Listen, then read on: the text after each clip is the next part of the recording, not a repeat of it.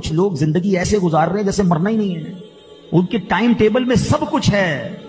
मगर ऐसा कोई प्लान नहीं है कि बीच में मर गया तो खबर कैसी होगी? मुस्तकबिल के पाँच साल का प्लान है, दस साल का प्लान है। अरे मरने का प्लान है कि नहीं? और फिर जिस कबर में जाना है, वो कबर रोशन होगी कि नहीं?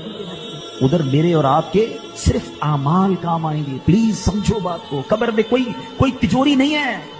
कफन में कोई जेब नहीं है। ये सब इधर रह जाएगा। मैं अकेला जाऊँगा।